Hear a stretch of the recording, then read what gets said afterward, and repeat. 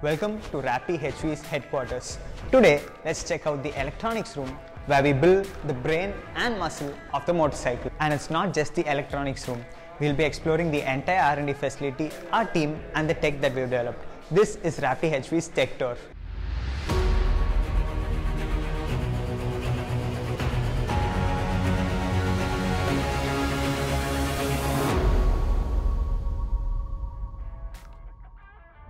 This is where the entire electrical architecture of the motorcycle gets built.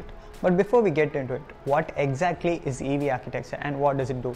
Well, the EV architecture is basically all the electrical and electronic components working together to ensure efficiency and safety. Its three main functions include converting energy into wheel power, managing energy flow, and integrating all the components. The battery stores energy, the motor powers the wheels, and the various control units regulate speed and power distribution. The result, a ride that's smooth and seamless. Our first stop is the motor controller bench. The motor controller is the brain for the motor regulating its rotation and speed. This ensures smooth and efficient acceleration, providing an absolute ride experience. The motor controller is essentially an inverter that converts the DC inputs from the battery to AC for the motor to function. Next, we move on to the motor. The motor turns the electrical energy into power that sets the wheels in motion. At Raptee HV, we use PMSM motors which deliver more torque and run smoother.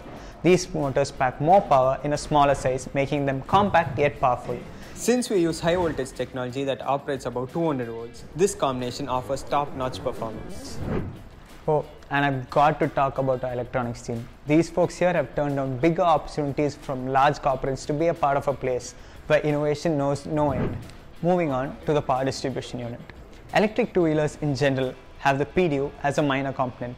Since our electric architecture has a high voltage system, we have a dedicated power distribution unit. The PDU acts like a heart of the vehicle, directing the flow of electrical energy to other components.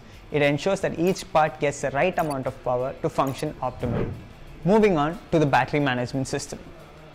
The BMS safeguards every individual cell in the battery ensuring uniform charge levels. It manages the battery's performance prevents overheating and discharge, ensuring that the battery operates within safe limits and increases the battery life.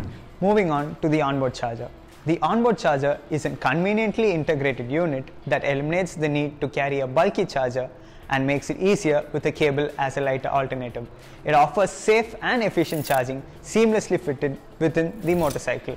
And thanks to our high voltage technology, now we can charge in the widespread car charging stations, ensuring that the bike is always ready for the road. Up next, we have the vehicle control unit.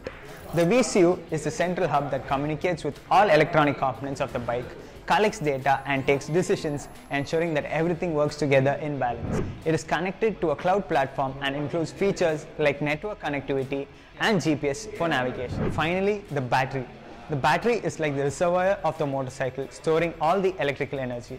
Unlike a low voltage system, high voltage technology generates less heat and it makes the system more efficient and the performance more consistent.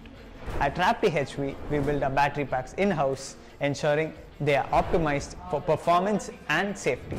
This concludes the electronics room of the Raptee HV headquarters. Let's meet soon to explore more of our R&D. Stay tuned.